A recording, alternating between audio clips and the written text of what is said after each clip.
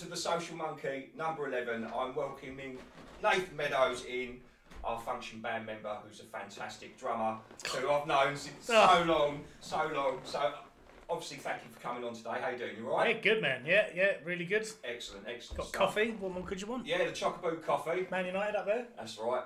That's it. The good old days when Mm. they used to be good. When they used to be good. Not losing to young boys at Wankdorf. Yeah. That did tickle me when I saw the name of that stadium. I was like, Is that, am I reading that right? It's called Wankdorf. It's got to be. It's got to be Wankdorf, isn't it? What's I. I don't know, but you put it all together, it just don't sound right, It's does just it? Wankdorf. young, your Wankdorf young boys. Yeah, that's it. It's not the one. Moving on. Yeah.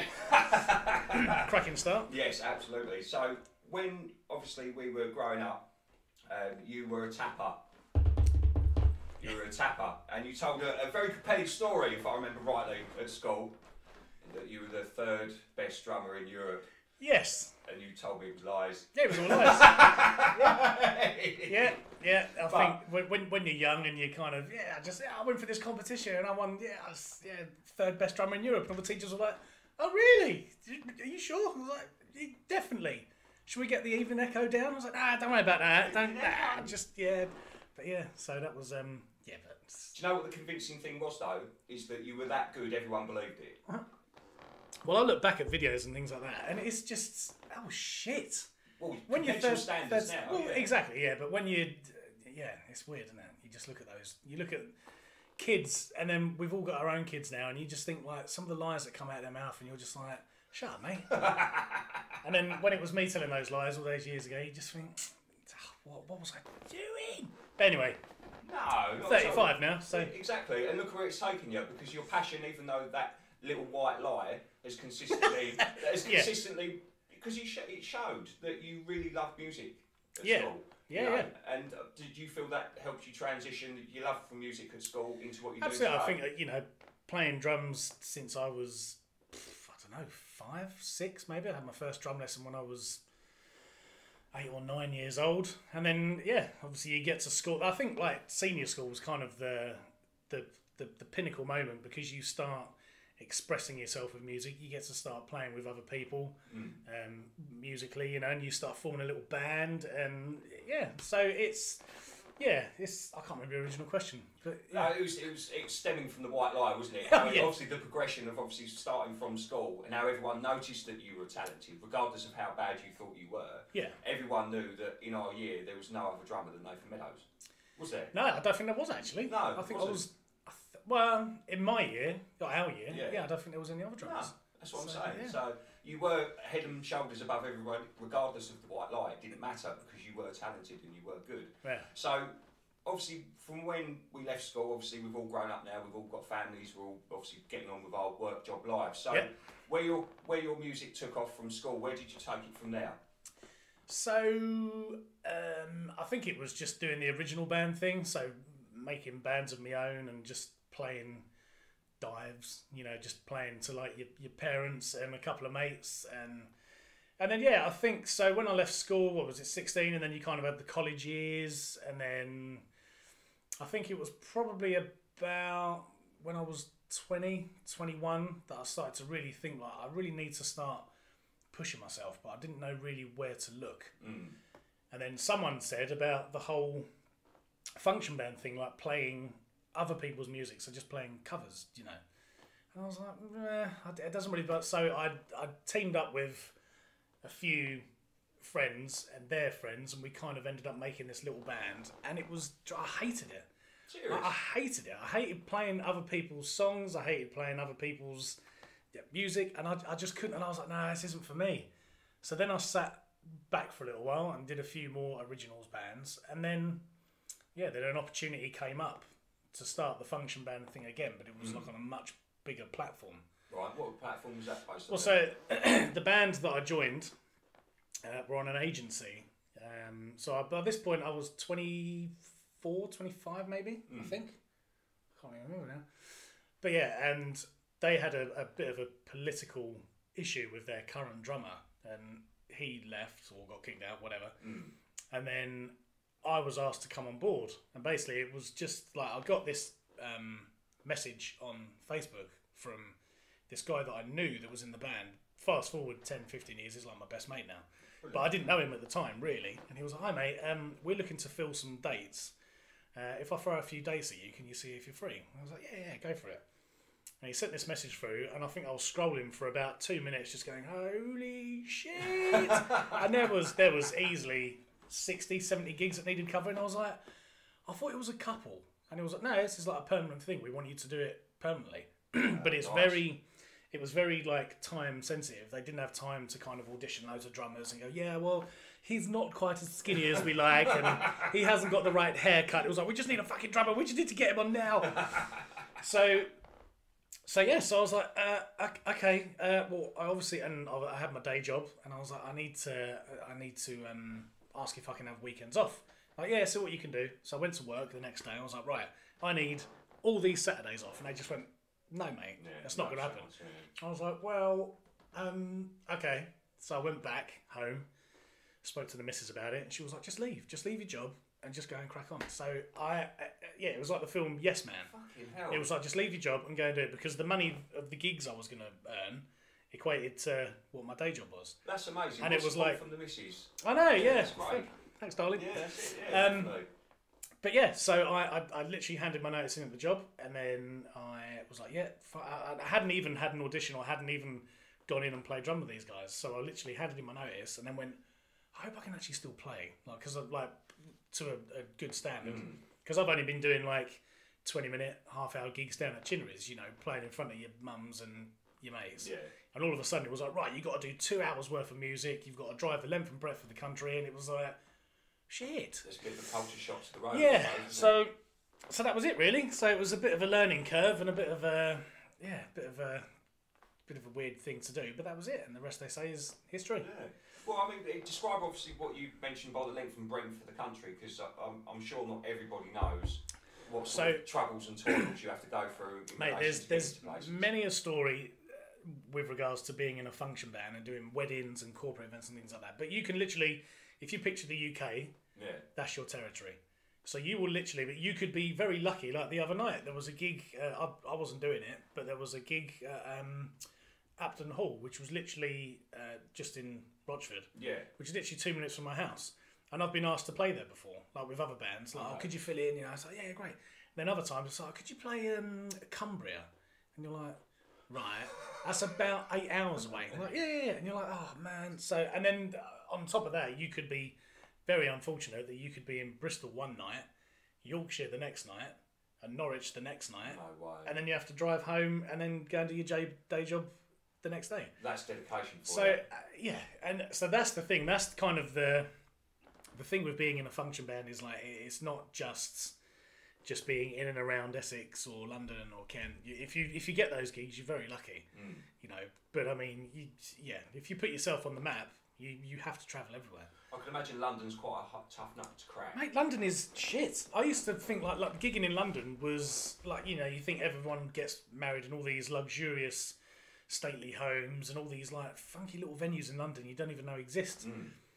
And uh, yeah, the amount of times you're looking at your diary and you're like, oh Yorkshire, Newcastle, oh god, oh London, oh wicked. Yeah, lovely. And you get there, there's no parking anywhere. You've got now you've got a congestion charge, ULEZ, this, that, and the other. So you're already like fifty quid out of pocket.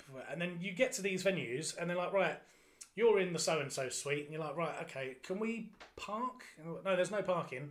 You've literally got to stick it on the double yellow lines outside the venue, unload all your gear, and then you've got a cart. We did a gig once um, where we were on some like massive courtyard right near the Gherkin in London Yeah. massive courtyard, and we were like, "Oh, this is wicked!" Like, and uh, they literally opened these double gates, and we started driving in. We've got like a van, or we had a van, and uh, so all four of us were in this van with all the gear in it, and we were like, "Great, we haven't got to find anywhere to park. We can just literally pull in." And uh, they opened the gates, and the security guard came out, and he went, "Oh no, you can't park in here, lads." He said, "You've got a van." We were like, "Right." And he said, "We don't accept vans in here."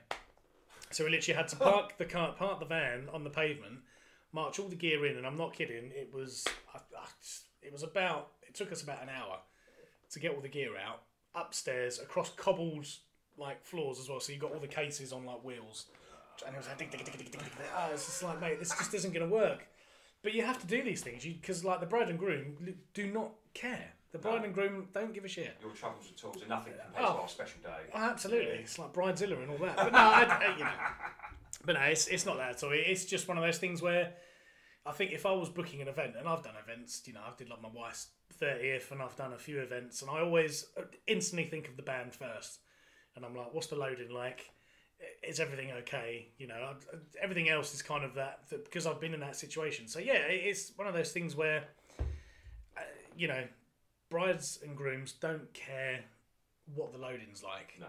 They don't care. They so yeah. So, but it's it's just part and parcel of it, really. And the, the the amount of good things that happen definitely outweigh all the shit things. It's one of those things where you load in and you, you get all the gear set up, you're sweating before you've even played a note. You're absolutely caked in sweat. And you're like, oh fuck this.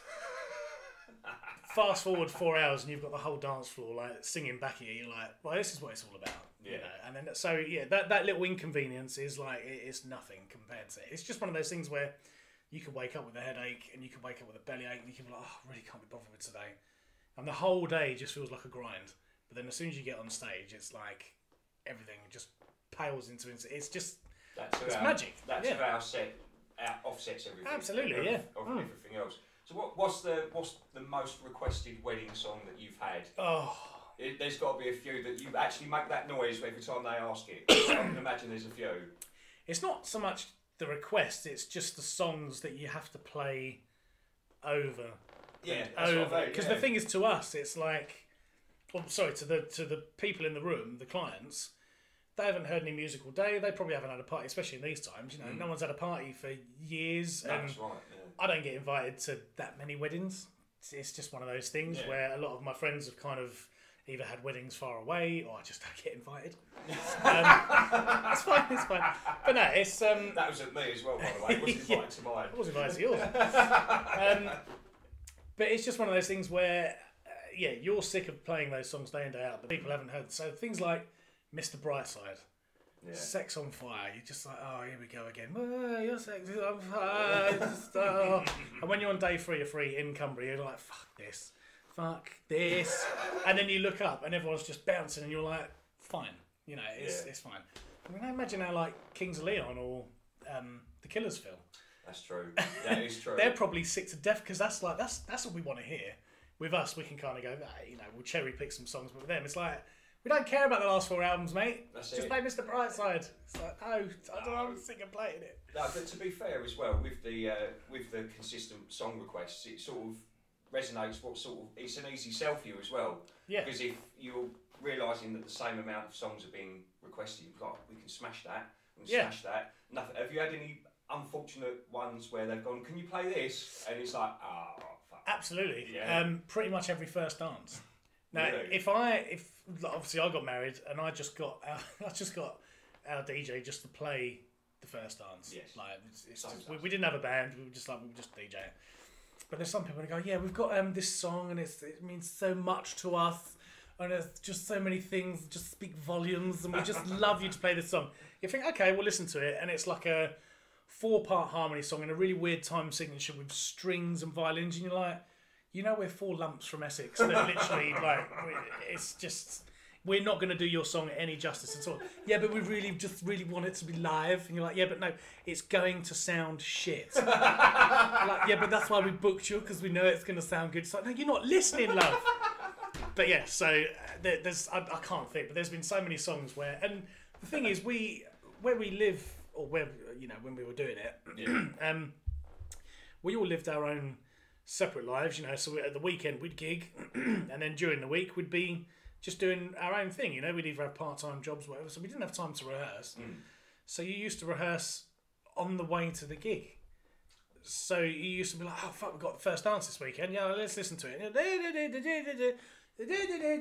Yeah, we'll be fine. And you get on stage and you go, and turn into little bread. yeah, yeah. But it's like, oh shit. But no, I've, I've, to be fair, I've never had a first dance that's gone bad. It's one of those, and we always had this saying, and I stick by it.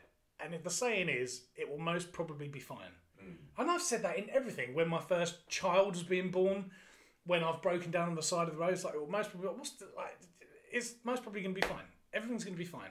And it is. Like, it's just one of those things where you just go, well, we know the song. We're we're lucky to be at that level of like musicianship where we're confident in ourselves. You know, hmm. providing we're all reading off the same page, you know, we're going to be fine. But yeah, I think there's not been a song that we've ever really ballsed up. Um, so yeah, we're, we're quite lucky in that sense, really. But, Yeah. yeah, first dances are generally the ones where uh, that that makes you go, oh god, like because we, uh, if the bride and groom ask us for songs, uh, you know, it's like, oh, we really again, you know, we really want this song. It's like that's gonna kill the dance for a little bit. We don't think we can DJ it for you, you know, but when DJ versus a band is a very different thing. So when you've got a band, you just want banger after banger after banger. With a DJ, you can kind of take it or leave it. You know, you can go, ah, oh, you're at a bar with your mate that you haven't seen for a couple of years. Go, oh, I like this one. Let's go, do it, yeah. and then go back to the bar. Whereas with a band, you want to be on the dance floor the whole night, pretty much. So, yeah, you kind of we pick and choose in all the bands that I've played in and playing now. We kind of pick and choose a set list just because we know that that's what's going to work the best.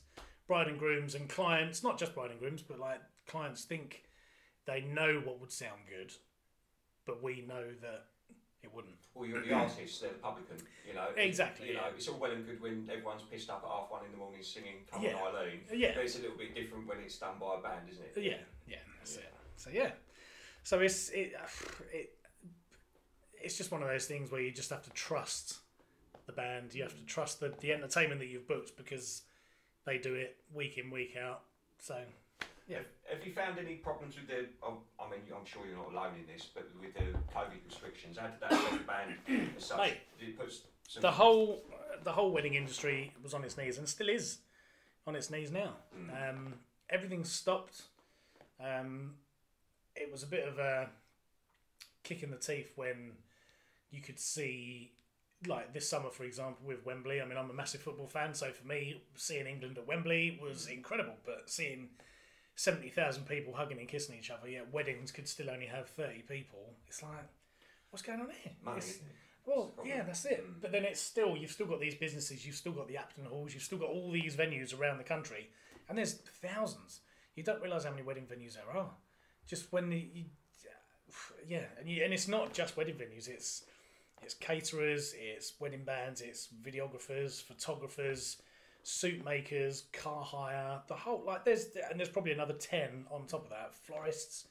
I mean, I've, I've spoken to a few people about this problem. Like you said, there's mul- multiple different places that have been affected by this, and um, I, I can't feel for everybody enough because there's so many people that I know in different types of industries that have been affected by COVID. Where you've got Yeah. you've got to stay in, and now that it's on its knees, it's hard to bring it back because people haven't got the confidence they can express themselves the way they want. It is, You can only have thirty. You can only do this. Everyone's got to be double jabbed. Everyone's got to be this, and it makes well, fuck getting married. Yeah, the point? yeah, yeah. I, th- I think now it's got to the point where we've, we've I've, I've been back out gigging again since I don't know May, June. I think was my first kind of venture out, and that was albeit out. It was like acoustic, so it wasn't like full band. It was just acoustic guitar and shakers and things like that, nice and relaxed, which was good to kind of get yourself because everyone's got that kind of what's the word like that that fear of going out. When it was like, oh, you can all go out again, everyone was like. I don't know if I want to. It's like I've been shopping with my mask on. That's probably as far as I can go. But actually, like dealing with piss guests, like, and that's the other thing as well. When you when you're in a situation like this, you've you've got your mic and the singer's singing, hmm. and then you get people come up, and it's like living on a prayer or Mr. Brightside, and you get people come up and they grab the mic. And it's like, oh, there's pissed Uncle Dave, you know, he's like, Whoa! down the mic. Three, four years ago, we didn't really worry about it. No. But now it's like if someone grabs your mic, you're like, fuck, that's it, we're cancelling the gig. Like, fuck, don't, fuck, I'm not touching that mic ever again. It's, it only takes one person to video it, stick it on things, I like know. sharing mics with the public, and Yeah. all of a sudden you're shamed for being this COVID Exactly. person. And Yeah. It's not the publicity that you want, but what else can you do? This is Yeah. the environment that you work in. You're going to have to expect this. That's it. So yeah, so it was that that getting out there and uh, the, the fear of overcoming it. Really, is that what's the word? Just that kind of yeah fear. That, that anxious butterfly Anxiety, yeah, chest. yeah. just- Everybody's felt it, mate. To be honest, uh, the girls have probably experienced it a little bit more than me because I never got an opportunity to go into furlough or lockdown or anything because I was working throughout the whole bleeding thing. Yeah. I still haven't stopped. So, in my respects, I've just business as usual for me. Oh.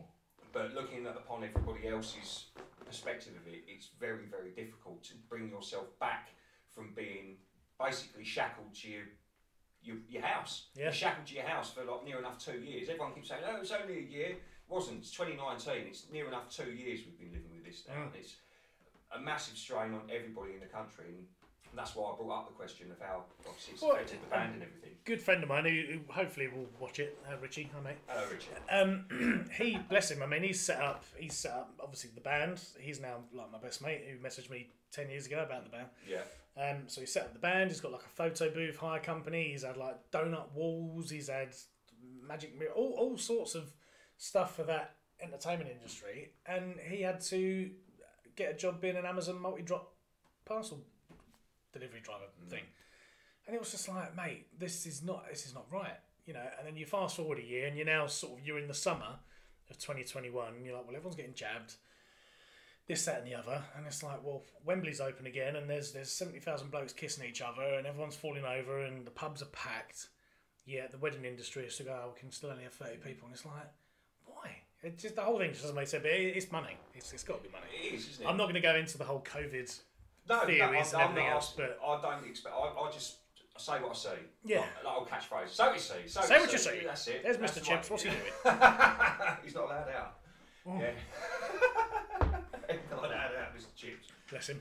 So when we were speaking on the phone, uh, well, voice noting each other the other day, Yeah. you said that you had a, a story in mind that you wanted to bring up. Mate, there's about. there's There there's was- tons of stories, and I I've been quite fortunate where I actually personally I've only experienced a few really bad negative things at these weddings. You know, mm. like alcohol. The, the main problem is alcohol. If anyone didn't drink alcohol, weddings would be dull as fuck. They'd be like nothing would happen. Everyone would just go, "Congratulations, cheers." what do we do now? Ah, oh, Mr. Brightside, yeah, oh, fuck on it. I was at a wedding last week. They played that last week. But yeah, so we'd so something that I've seen. There was a wedding, and I remember the dates, but I don't remember the date. But I remember the situation. It was the day that Amy Winehouse died. Okay. I remember we were driving to the venue and it broke on. I'm like, breaking news, and it was all on our phone. We're like, fuck, Amy Winehouse is dead. Now, say what you think about Amy Winehouse. You know, it was a sad loss anyway. Tragic. Great singer, like, she, uh, but uh, you know, she didn't help herself. Blah blah blah. Um, so we turned up at this venue and everyone was like, the news was breaking. It was, oh fuck, but you know, it's not like the Queen or anything. So everyone went, Amy Winehouse is dead. Oh fuck, another beer, Dave? Yeah, go on in. And so, but everyone was talking about it anyway. So we, we set up and do the gig, and um, we found out while we were at this wedding that um, the bride, it was either the bride or the groom's dad had passed away two weeks before their wedding. So emotions are really high, and we, we were setting up, and then they said, "Oh, ladies and gentlemen, we're going to do the speeches now." So we like had to sit there and endure these speeches. My God, I was I was crying. It was just like, I So don't, know, emotional. it's just so emotional. Like just them saying, you know, Dad, we wish Dad would be here, and it was only like two weeks ago. So oh my God. So anyway, so I did that anyway. Fast forward to the end of the evening, and uh, uh, we're, we're packing away, and I remember the car park was like a, like a really like massive gravelly car park, and you could hear taxis pulling up and pulling out and cracking on, and we could all this screaming and all this commotion, and um, both the mums, so the bride's mum and the groom's mum, were just on the floor punching seven shades of shit out of each other, and we were like, "What's going on here?" And they were literally, and she literally had the uh, whichever mum it was was literally had her by the neck and was just banging her face, just like punch, punch. And the bride was saying, "I'm going, Mum, stop it!" And they they pulled her up, and the bride was covered in blood, Oh, and the one of the wow. mums like her nose was all split open. It's like, oh. Congratulations, we're uh, we're off now. I was just saying we're going now. They're like, yeah, all right, see you later. So there was that. I mean, that's you know, that's that's one of those things where you GFC just the car park, Granny Fighting Championship. yeah, that's it. Yeah, yeah, yeah. Two, three, he's out of here. So that was like, wow. You know, we got in the van. It was like, what a day. You know, you've just like Amy Winehouse, and then we've just seen like two women just battering the shit out of each other. But yeah, so there's there's two, maybe three stories about uh, being in this function band world and the things you see and the stories you hear. So fortunately, I wasn't at any. of I I say fortunately, I wish, I wish I was at these weddings. But this is just some stories I've collated. So the first one was, uh, I I think it was based in Essex or Kent, or it was quite local. I'm sure someone could back me up here. Yeah. Um, but it was in a massive marquee, like big marquee on a field. Everyone was having a great time. The band there, and like, congratulations, Mr. and Mrs. Smith, whatever. And the night goes on, like, and then, ladies and gentlemen, the buffet's open. Buffet comes out. Then the band go back on for the second set. And it gets about 11 o'clock, and everyone's having the best time. The dance floor's packed, the groom's got his cravat round his head, and Grandad's on the floor windmilling with his blazer. Like, everyone's having the best time. And there's absolutely no indication that everyone's kind of bored. Everyone's like, song after song, the crowd are there and they're absolutely loving it. And um, all of a sudden, the dance floor just goes, it just clears. And everyone, like the band's like, your, your sex is on fire. What the fuck? What, we're playing Sex on Fire again? Oh, fuck it. Oh, yeah, the crowd. Yeah, forgot about them. but, um, and the crowd just vanished. And everyone was like, what the fuck? So the band sort of like, they, they finished their song. And everyone starts going to the bar, and everyone's sort of picking at the cheese and the crackers that's left. You know, like kids sort of go, "Oh, brie," oh, bleh." and then they put that back, and then some piss bloke goes, "Oh, brie." woo." I've seen that, mate. The, the amount of regurgitated food is just like little five-year-old with a sausage roll, and it's a vegan sausage roll, and he goes, spits it back out, and then someone comes along and goes, "Hey, it's food." Mate, any, any, anything beige to a pisshead at one in the morning is like, oh, banging. Oh dear, you got to get some Snapchats of that. Really- Yeah, yeah, yeah. Um, so the dance floor's like empty, and everyone's like, "What the fuck's going on?" And all of a sudden, they look down, and on the dance floor, there's just this massive steaming pile of poo, no. and everyone was like. What? So uh, it was like they get to the mic and they, can we have um? Normally you do like No. Uh, yeah. Normally you get like a, a call out for bro- broken glass on the dance floor, ladies and gentlemen. Mind your feet, ladies and gentlemen. It's like it's there's shit on the dance floor. So you had to get some poor little 18 year old who's just that, you know, she's just hired in for the night to work at the bar and she's Yeah. pulled in. And there oh, she is with her little blue towel and she's scooping up shit. And it's like, oh, what's going on? So that made um, mainline, like main, like mainstream news. I remember it breaking out, and I remember sitting on. I think I was I was gigging, but obviously not that gig. And I was driving on the way home, and it was like, oh, wedding guests reveal horror of poo on the dance floor, and it made news that night. So it happened at like eleven o'clock at night. By one o'clock, it was actually on the BBC News app. Oh, stop it! It I know. weren't, was it? It was. It, it was like right, yeah. Uh, Syria. Uh, uh, Amy Winehouse is dead. Uh, shit on the dance floor. Sophia Inspector on the side. Yeah, yeah. Oh, shit on the dance floor. so there was that, um, and it turned out it was one woman on her own. There was a woman on her own. She wasn't even with anyone apparently. Oh no, So she get out she's- her skirt. Yeah, Oh, just oh, I feel a little bit of movement. Maybe I'll pop to the toilet. No, I'll tell you what. I'll just carry on dancing to "Sex on Fire." Oh, oh, do you know what I like the sound Gosh. of as well? That it, like the it was like a school disco and everyone sort of party ways. No one took responsibility. I don't know what she did. I don't know if she stood there and admitted. I mean, why would you? You'd, you'd, you'd be that person going, "Oh, who's done that?" I'm just gonna pop to the toilet. Yeah, go on then. Um, so there was that one. So there was uh, greatest shits on the dance floor. Um, and the second, well, well there, there is a third one, but we'll, we'll see how we're doing for time. oh my god. But the second one is um, this couple have uh, hired this massive stately home, and in the lobby, so you've got like the reception for the lobby, like where you check in. Yeah. Um, but they'd hired the whole hotel out, so no one was coming in, no one was checking in, checking out. So the whole, like the whole hotel was theirs. This bride and groom. That's, the amount of money that passes through weddings is just That's, astronomical. that sounds like the hundreds of thousands. Yeah, yeah, it's mark, doesn't it, biblical. It's Yeah. crazy. And um, so again, the band, different band on the uh, like playing, and uh, in in where the lobby is, you've kind of got this stairwell in the middle of the lobby, and it kind of fans up and fans around, and you've got all these balconies, Oh, like got all Disney these. princess sort of Yeah, yeah, yeah. So it kind of fans out, Yeah. and the band are playing, and they're they're literally opposite the stairwell. And then all of a sudden, again, the dance floor just slowly starts to dissipate, and everyone's slowly filtering away. And I was like, okay, well, well, by the way, that's the drummer playing. I keep doing that. People go, what's he keep doing that? He's got a nervous twitch? It's like, no, that's the drummer. That's a guitarist. That's a drummer. Left-handed drummer. Um, not maracas. Hello. Um, so yeah, the band are playing, and then everyone starts making their way to this stairwell, and everyone's like, "There's a lot of action around this stairwell," and it's like, "What's going on now?" People are going up, people are going round to the balconies, and then people are coming down. People are crying.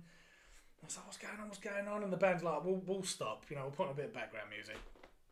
And uh, it turns out that the bride was caught with the best man in the bridal suite Oh, in the bed at it. On their wedding night. Oh my god, that was like that's like sexual Cluedo, isn't it? So it was the bride and the best man. With Yeah. the candlestick in the With the bedroom. sort of three. Um, yeah. So, uh, mate. So there was that, and What? that was just again. I was like, shall we call it a night? It's my like, God. yeah, call it a night. Um, There must have been a ruckus then, surely. oh, there was. Yeah, that was the thing. Like people were going up, going, oh, what's going on here then? And then people were coming down with like broken noses and blood, and everyone was crying. It's like. I don't think I want to go upstairs, but yeah, it was. Uh, so there was that. So uh, and again, you know that. So poo on the dance floor, and the bride sleeping with the best man. I wouldn't advise it because it does Sexual, sexual Cluedo. it does kill a wedding. Um, Hashtag- where, where was that? Are you allowed to say where? I don't know. Again, that was I, I wasn't there. Wow. So I'm part of this like this group, and we've kind of on, on like WhatsApp or I think it was Facebook. I don't, I don't know. But it started breaking out, and there was this other band relaying the account of the evening, and we were just like, "Oh my god!" Driving home, just like, "Jeez." So yeah, mate. There's there's been so. I mean, I've seen so many things over the years. Probably not as like grand as that, but there's been so many situations where you've seen like, I don't know. I, I did. I did. I can't name him. so I can't name him. I can't name the band. I can't name where I was. But I was playing for a uh, professional footballer. Careful. Not- Careful. not- careful. that- that's it. we had a party. And we've done loads of these parties over the years. We've done loads of like celebrity things, and you get really starstruck. You're like, wow. And these people are all great, and this person was really great. It was a really nice guy or girl. Yes, well done. Well done. Well done. Um, and yeah, we, we had to go a long way. Again, I'm not going to say the location. Maybe it was north, maybe it was south. Yes. Um, Good thing we're in the middle, isn't it? yeah, so, yeah. yeah. I think London is considered north for us. Yeah, it. Um, but yeah, so we we did this event, and it was just like a, a little private gathering, Mm. and there was security beyond belief. Like every corner you turn, there was like just some big like dude, just like. Yeah, on every door. Yeah, pretty much. and uh, the night carried on, and we again we did our first set, and it was wicked. And the the the, the person who booked us was there, and he was singing, and he had loads of mates with him, all from you know Different walks of life. different walks, yeah, or different football clubs. Yeah. And um, and there was a group of them on stage, and they're doing it, and it's all kicking off. And I literally get my phone, and I just go to film it. I was like, oh, this is a really good moment to share for our social media stories. And I put my phone up like that, and this massive hand just suddenly goes. and there's this bloke who's like six foot nine. He's like, "Put your phone away." I'm like, "Okay, no worries." And it was one of those things like, whatever happens tonight is not documented. Mm. Whatever, whatever substance you may find on the toilets, you do not talk about it, Yeah. Or do, or don't. Yes. Hmm. But I remember this bar was running because they hired this bar in, and the bar was dry by like midnight. Wow. And this footballer was literally screaming at the young 19 year old lad, just like, oh, we, I, I demand more alcohol, we need more alcohol. And it's like, well, the night's supposed to finish at like midnight or one o'clock, whatever. That's not good enough, I'm paying you extra. And he was actually screaming at this little 19 year old kid. Uh, So the kid got on the phone to his manager and was, oh, so and so wants more stuff from behind the bar. And they actually ended up like doing it for him. They kept the bar going until like three, four in the of course morning. I would. That'd probably froze him an extra few quid. Yeah. God, mate. So yeah, so that was that was quite interesting. But yeah, this this oh there's so many stories, but I just can't I just can't say who it was No, because it was well, it's, just it's best that you don't, but it, it gives every, it's, it gives everyone a decent perspective of Hmm. you know when you are in a function band, there is some massive perks and there is some massive achievements that you can get. Like like you said, the, you're meeting celebrities and people from all walks of life. yeah, man. Yeah, All right, you can't talk about it, but up here, that's where it matters. yeah, yeah. Because you don't have to share everything on social media. No. Some of those, some of those feelings and some of those situations should be kept private. Some of- Absolutely, yeah, yeah, yeah. Because yeah. not everybody in the world needs to know everything that you've done. I mean, if I was to tell everybody in the world what I've done, I'd put no one would probably like me. You know, so it's it's one of those things where you do have to obviously keep something back. yeah. So the current band that you're with at the moment is Swayze Nights. Is that right? Swayze Nights, yeah, Yeah. we are an 80s uh, themed party band. So yeah, we do everything 80s. Um, yeah, so And, you, and you're operating freely now without too many restrictions. Yeah, no, we've got October's quite busy. We've got quite a few gigs coming up. Um, some private, some you know some public ones. So yeah, that's that's all happening. So that's pretty cool. Um, So where, where would people try and find Sway? Have you got your own website or you operate yeah, it's just only? social media, Yeah. Instagram. Yeah, I don't know. I don't know the handle forward slash Swayze Nights. Try that. Try that. Um, But, But make yeah. sure you head over there. Obviously, if you've got any um, weddings or any functions, or, or you, I suppose you do work functions as well, wouldn't you? Yeah, yeah, Like anything, mate. and things like that. yeah, yeah. Yeah, so obviously hit up Swayze Nights for that. Make sure, especially Christmas coming up, I suppose you're going to be probably Absolutely. busy there. So Yeah. considering the amount of demand that these guys and girls are currently in, make sure you get over there and have a have a watch and Yeah. listen because I've had a few watches of the videos and it does look like Yeah, people mate. It's, definitely enjoying the music. There's no uh, That's the eighties as well. Yeah. I think everyone loves the eighties. It's slowly going now. We find that it's going eighties slowly into nineties now. Everyone's slowly going into the nineties, Mm. and everyone. I, th- I think eventually, you know, there'll be that big demand. Everything's just kind of kind of be generational where you sort of go, oh, 90s, maybe now two thousands, and then. But I mean, back round again. Well, I yeah. can see it within my own daughter. The way she dresses, it's very much eighties. oh, really? clothes. Yeah, the, obviously up to date. She's not going getting vintage 80s stuff. You know, she's not that. She probably ain't got that much money either. You know, No, well, yeah, vintage 80s stuff's a few quid, but Mm. just the, the style with the you know the uh, college bomber jackets, not bomber Yeah, jackets, yeah. college jackets, ripped jeans. Yeah. You know, she likes loads of alternative music. It's not like the fact that she's like an emo or grunge or uh, Yeah. house or hip hop or anything because. Yeah. That's one thing I've always taught my kids to have an open mind. Say kids, I've only got one. I'm sorry. Breaking breaking news. yeah, breaking news. I've got another one. No, I haven't really. um, that having a music genre that's so wide doesn't inhibit you to other things because That's there's, it, man. Yeah, exactly. festivals and there's like different concerts to go to. Um, always point at Live Aid with my little one. Yeah. Back the eighty, the one Freddie, last one Freddie done. Freddie Yeah, yeah, yeah, yeah, a big Queen fan. Love Yeah, Queen. You know, uh, watched the film, got the book, and everything else. And uh, I basically said, look how many different artists are there. Yeah. Look how many people don't leave the arena. Yeah. Because like like you said, some tunes people are not into, but when you're in that concert environment, everyone's loving the situation. It's not just the music; it's the atmosphere that you're in. So you've got Mate, people abs- hundred percent. Yeah, and this is the thing as well. I was thinking the other night. I was watching that. Um, oh, what's it called? That People Just Do Nothing. Have you watched that? No, I've been, that's the the chaps in the tower block, isn't Yeah, it? Yeah, I haven't watched it. But no. it just takes me back to like our childhood, Mm. and that like garage and all that was like huge, like the garage scene. And I, I, I don't think I would have liked it, but because of the like the circle of friends I was in, like you and everyone else, it's kind of I just listened to it, and then I ended up I ended up with a pair of decks. I'm like, I can't DJ for shit. What am I doing with this? So one minute I'm listening to Slipknot with like Charlie and all that, Yeah, you were, were And then- that crowd, weren't you? Charlie, Dave, and all that. Yeah, Yeah, yeah. that's right. and then yeah, and then yeah. I was listening to garage and all that, and then there was just like the normal rock stuff. So I, I think that's absolutely one hundred percent. Like whether where this is going, I don't know, but you know, obviously, just talking about music in general. Hmm. It's just so good not to pigeonhole yourself, you know. Because Yeah. I don't think people do now. I think like I don't know. I think it's so It used to be big when we were kids. Like you, were, you were with the garage Oh, guys, mate, yeah. you were with the grunge guys, Yeah. you were with this, you were with that. You know, oh, that's crap music. This, and yeah, hopefully, because of the birth of YouTube and obviously Spotify and all of those other media platforms, it's given everybody that situation. Go, never heard of that person before. That's fucking no, good. mate, that's it. And I've I, I sit there with Spotify sometimes, and I'm I'm 35 now, so I think I'm at the age now where I can go, what's this shit? What's, what's this? what's this? This is awful. And I sit there and I, I listen to some stuff that comes out, and I just think this is dreadful. Hmm. Like rewind 20 years ago, I remember my mum and like, our, our parents going, "What's this? This is dreadful." And you're like, oh, "Shut up, mum, you're sound cool." But fast forward, and we're here now going, "This is dreadful." But I, I don't know. It just seems to be that music is. It's, there's just so many artists now. Hmm. That's the thing. There, there used to be so many artists, but obviously we didn't know they were there. And now with like the, the launch of streaming and YouTube and everything else, there just seems to be like new artists popping up. If someone held a gun to my head and went, "Name me the top ten now," I'd be like, "Not Yeah, a clue." should- Um, should.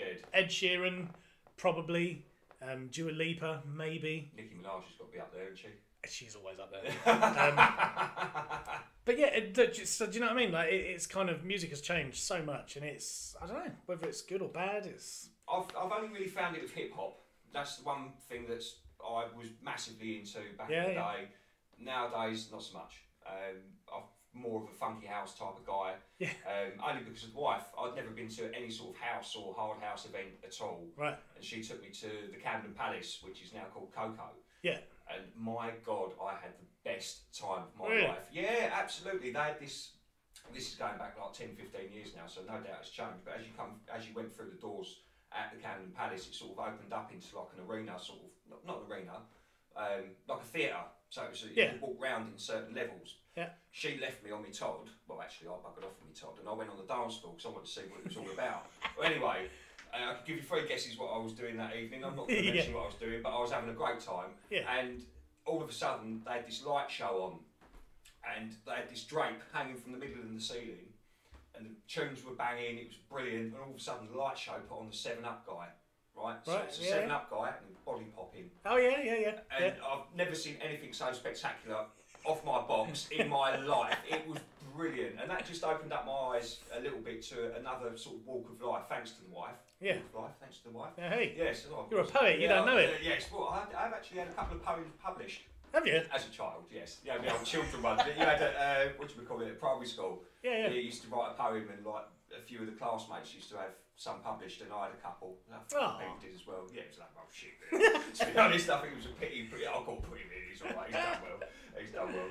Right, so I'll leave it there, my man, because uh, I think that we've gone on for what is it, forty-one minutes. Four hours. Four hours, not quite, not quite, but we've all got lives to lead. I've got to go work, and I'm sure Yeah. you've got to get back to the wife. Yeah, I've got to go do the washing up. Yes, you Yeah. You said you. No, I won't say what you said. oh, uh, yes, no, I won't do it. No, just yeah, he's a good boy. He is, he is. He's a good boy.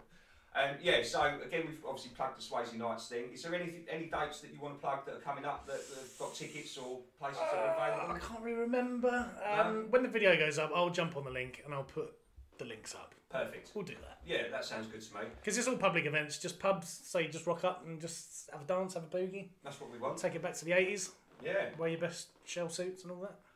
I don't know. Well, I suppose they do still do make them nowadays, don't they? They do, Yeah, yeah. shell suits, Yeah. but a little bit more up to date. But Yep. it's been a pleasure to having you on, on mate, and no doubt I'll have you back at some point as well. Thanks So for having it's- No, it's been an absolute pleasure, and uh, it's been so long, so I, I want to make this obviously something a little bit more continuous because I can see you guys going far with the talents that you've got. So well done. Bless you. Thanks, mate. All right, have yourselves a lovely day. Thank you. Good night. Much love from the Social Monkey and Nathan Meadows. All the best. Bye. Bye. Bye.